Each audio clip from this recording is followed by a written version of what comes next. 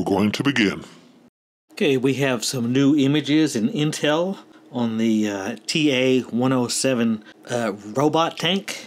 The big news is the first 18 copies of the T 107 will be on display at the annual military parade. What is Wow. it? Victory Day parade. That'll be this Wednesday, day after tomorrow. We're going to get a good look at this thing. I can't wait for that. Uh, wait, go back to that warehouse picture.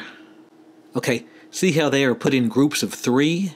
It's our understanding that the AI is taught to work in groups of three. Uh, they call these groups, uh, each group a cohort. And they can cram three tanks into one of these cargo aircraft and airdrop it, parachute it on target.